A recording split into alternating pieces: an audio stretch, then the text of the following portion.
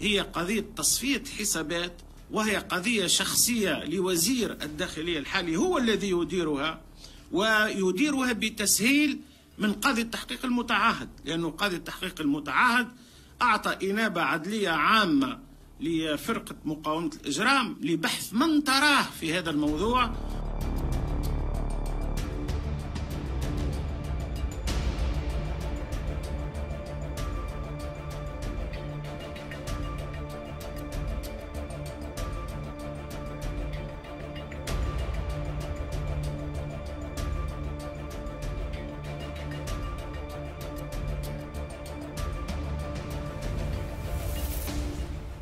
هو تطبيقا للقانون.